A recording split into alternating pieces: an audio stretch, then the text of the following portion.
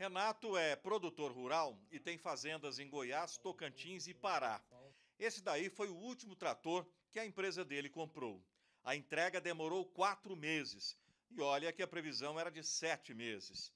Nós conseguimos, através de uma desistência, é, receber um trator com 90 dias de, de espera, mas não é o de praxe no mercado. Né? Nesta empresa de máquinas agrícolas, a espera por um trator de médio porte varia de seis a oito meses.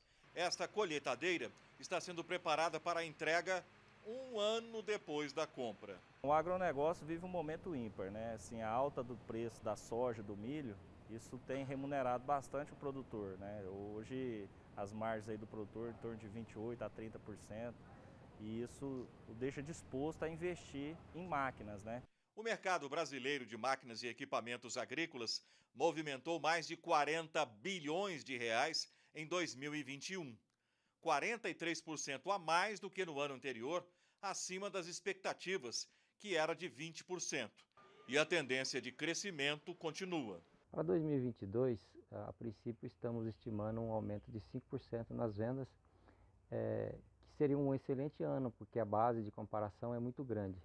Porém, a seca que está é, atualmente no sul deve alterar esses números e nós vamos reavaliar para frente para ver se esse número é, vamos manter ou provavelmente diminuir.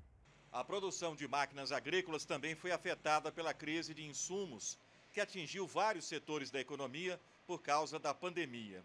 Existe fila de espera até para peças de reposição, aumentando ainda mais a demanda e os custos. Existe uma demanda grande por máquinas e implementos agrícolas e houve uma redução dessa oferta.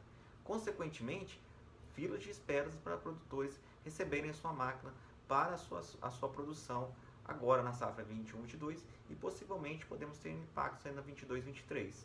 Então todo esse cenário de maior demanda com uma menor oferta tem causado essas filas. Lembrando também que na questão de serem produtos que têm sua origem na importação, fator cambial influencia demais. Outro problema é a falta de mão de obra para operar essas máquinas de última geração. O salário de um mecânico varia de 6 a 12 mil reais por mês.